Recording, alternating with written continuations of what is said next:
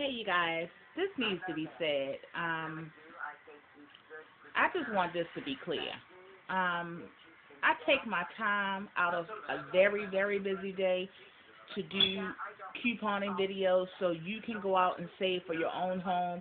Even if you can coupon on your own, um, a lot of people overlook or don't see certain things. So they're able to get the savings in their own home that I am able to save and actually are able to give in the community with as well by couponing. A lot of people thumbs down my videos, you guys, and I find it it's weird because if you're getting something from the video, thumbs up it. Um, because people are thumbs down the video, but yet go out and get the savings for their home. In a way, that feel used at that point. Do you understand what I'm saying? Um, I don't disable all of them because I don't have time sometimes. But I'm just pointing out to you, if you like the video, thumbs up it. Simple as that. Because I'm about to stop doing it altogether, to be honest. So, all right, you guys, be blessed.